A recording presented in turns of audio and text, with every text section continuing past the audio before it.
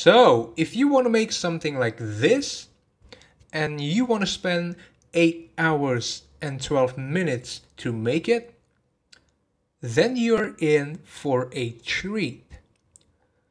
Please enjoy this visual feast, and if you are interested, please go to my channel to see the full course. I'll see you there.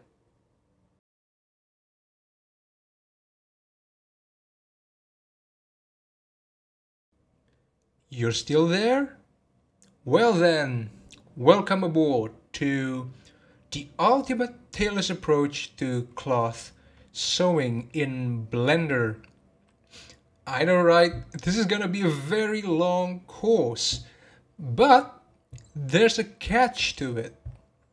You see, I recorded this opening after I finished uh, recording the entire course and that's why I know how much time we're gonna spend.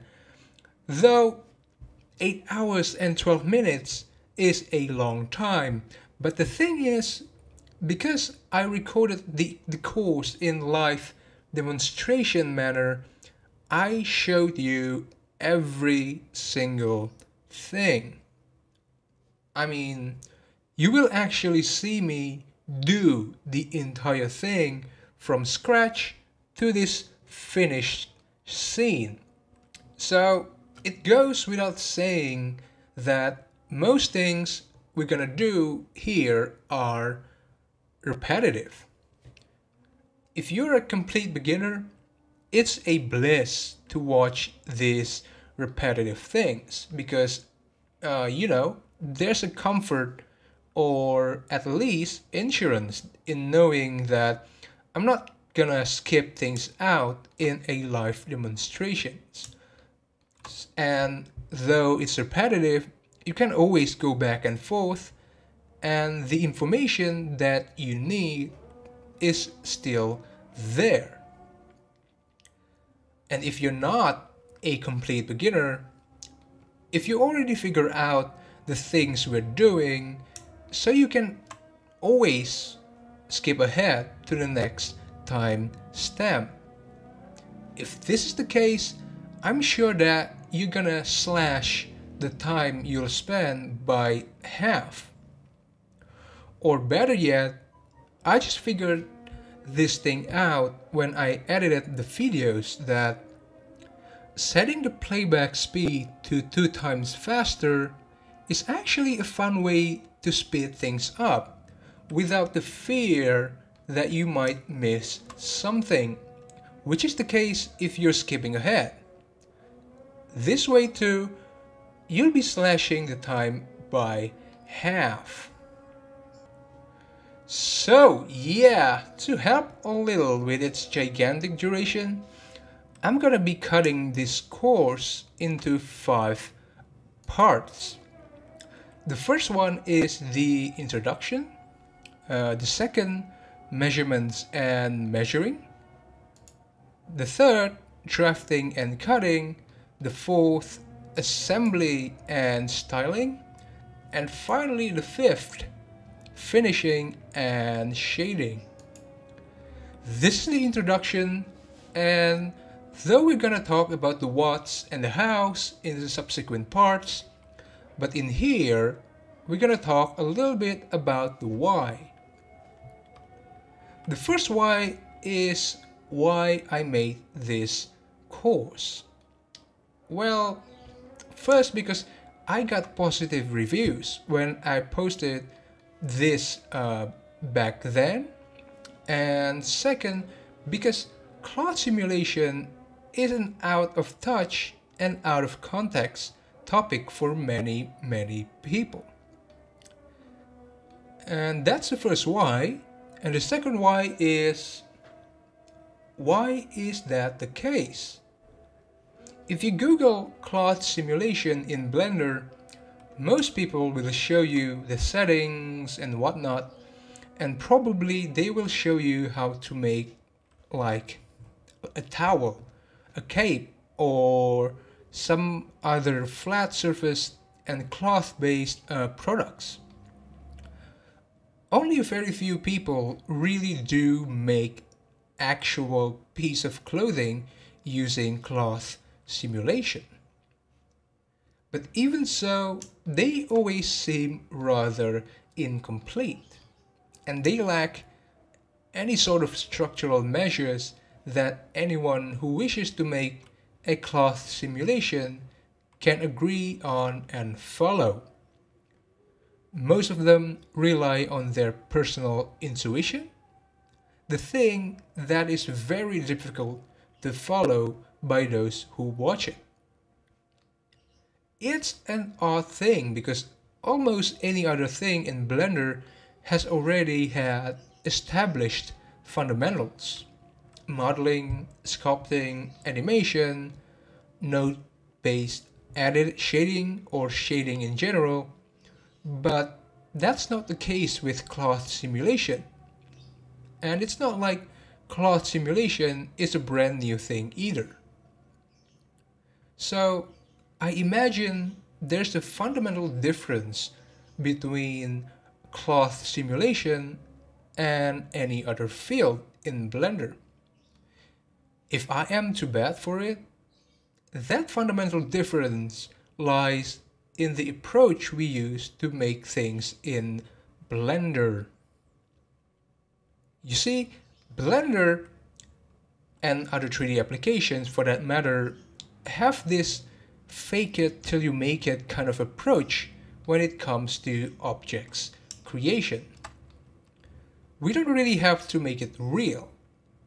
We just have to make it look visually real. If we are to make a coffee machine in Blender, we don't have to make the actual tinkering machine inside. We don't even have to understand how it works. We just have to make the visible parts of the coffee machine look real.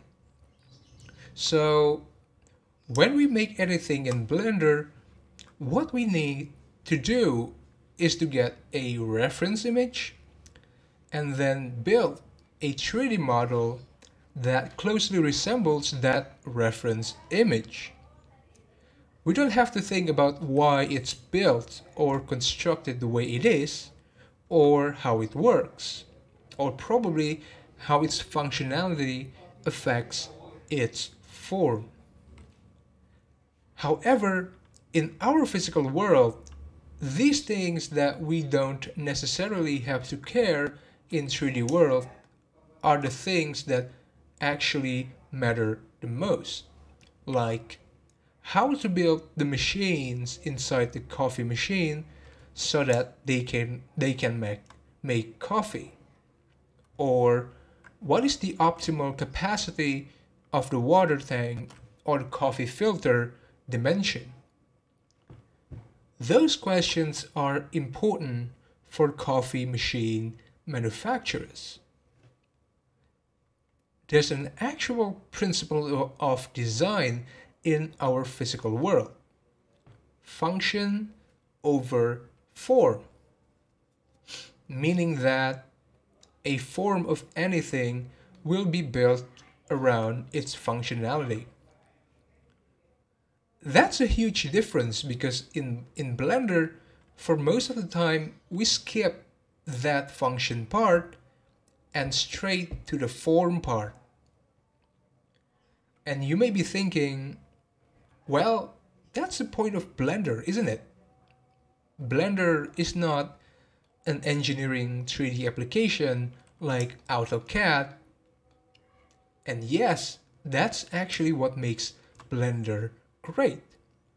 We don't have to limit or cap our ability to create things in Blender by our lack of understanding and knowledge about how those things work in real life. In Blender, we've got no limit but our own imaginations. We are not bound by some physical constraints that naturally bind our physical world. So, yeah, for most cases, this fake it till you make it approach works perfectly well. However, in Blender, there are a few things that need to be built using physics properties. And that's where we got our problem. For this one rare occasion, Blender overlaps with our physical world because physics properties in Blender are built using the same physical laws that govern our physical world. That's why when we try to make an object with physics properties in it, like a piece of clothing, using a cloth simulation in Blender, we are clueless because we don't know how to make like shirts in real life either. So if you want to do that successfully in Blender, you practically have to think like you actually make that piece of clothing in real world. In one sense, we have to be a make-believe tailor.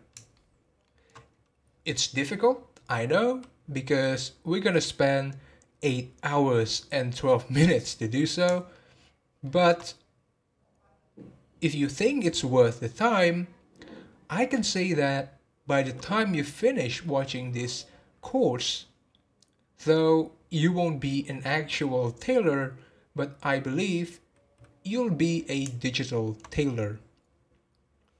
So if that sounds interesting for you, in the subsequent parts, we're gonna talk in abundance about the what and the hows of making a piece of clothing using cloth simulation in Blender.